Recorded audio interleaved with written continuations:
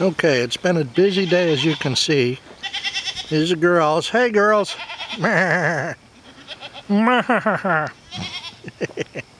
They're waiting for dinner. They're admiring the work of this. Look at this. I got the walls up and standing. I got to do a roof now. Sucks that I don't like heights, but what can you do? Um, so here it is. It's a double floor.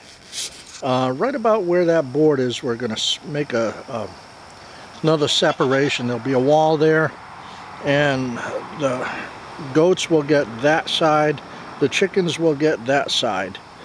And up on the top, we're going to put uh, storage for hay.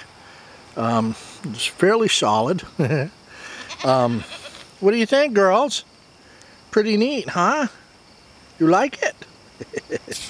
oh yes, they approve. So it'll be quite nice when it's done. That's the progress. We have uh, ultra thick linoleum here um, because the rubber stuff that we went to get at uh, the tractor supply would have cost several hundred dollars to cover this small area. Uh, although it is three quarters of an inch thick, weighs about a ton and a half, we'd probably have to reinforce the floor to hold it. Um, so that, that just wasn't worth it considering what was going to be hopping up and down on it.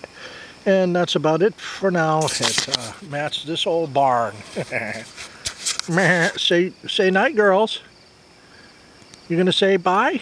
No? No.